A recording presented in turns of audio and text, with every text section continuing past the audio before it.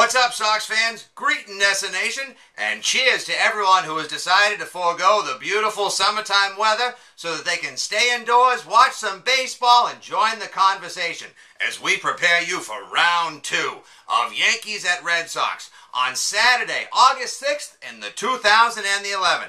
How are we doing today? My name's Fitzy, and I'm probably a lot like you in that I'm not too well bathed, uh, I'm sweaty, and I didn't sleep last night.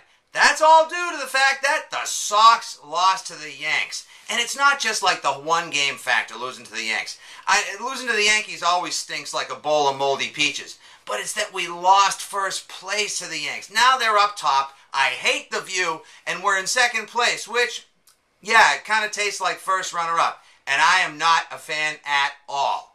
Last night was really all about missed opportunities. Uh, and that's my least favorite Hall & Oates song of all time. The Sox had a chance to get a game back on the Yanks, run their record to 9 and 1 on the season, and let them know that they were going to be in charge of the AL East show. Bottom five. Gonzo has the sacks juiced. Two outs. I knew that was going to be it right there. Like, we had to score those runs. And we didn't. A three pitch Gonzo whiff. Gonzo's whiff, by the way, would make a terrible cologne for men.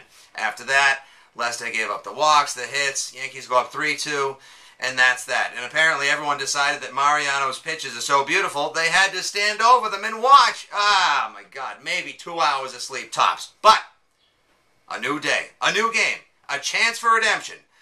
With the Yankees throwing 16 game winner, he with the 2.5 ERA, CC Sabathia versus John Lackey, uh, with his 6.23 ERA and 1.55 whip. Uh, you might be thinking initially a mismatch and we'll see you Sunday night.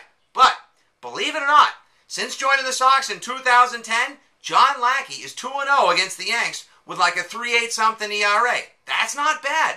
Maybe he's no Yankee killer, but he does show up and earn a little piece of that 82.5 million. If he can win today, we're all even. All bets are off. We're back after it tomorrow. And maybe we can convince the Sox brass to like put John Lackey in a closet or like keep him in a hyperbaric chamber or like behind safety glass that says, do not break until next time the Sox play the Yanks.